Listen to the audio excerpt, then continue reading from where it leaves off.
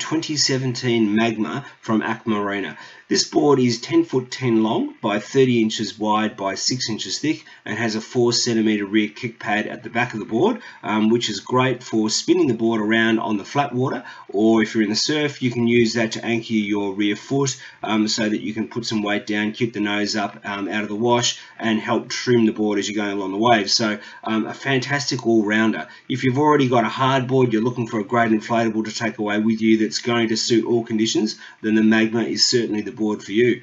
Um, it's 290 litres in terms of volume. Um, it has a max payload of 140 kilos, although I've loaded it with a stack of people and kids, and we get away with it without any problem.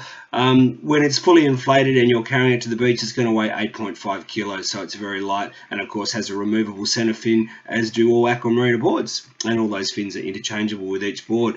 Um, you'll see here as we're paddling backward and forth, um, little waves and choppy conditions, the board handles itself extremely well. So it's very, very easy to paddle. If you're looking to buy your first inflatable board, this is a board that'll grow with you with your ability.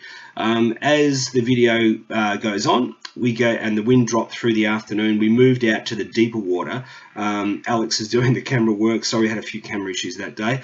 Um, and uh, you'll see the board um, over a distance, over a greater distance, um, just to see how that board performs. Here we are here, um, further out um, in the calmer water, where you can just see the glide of the board. It's a great board to paddle over a distance because it's only 30 inches wide. So there's not much yaw in the board you get with very wide inflatables, which means it won't zigzag on every second paddle. So you can get a few paddle strokes in on each side, track the board in, um, in a straight line as you're going along, um, yet it's still very easy to spin if you want to back paddle and turn it around.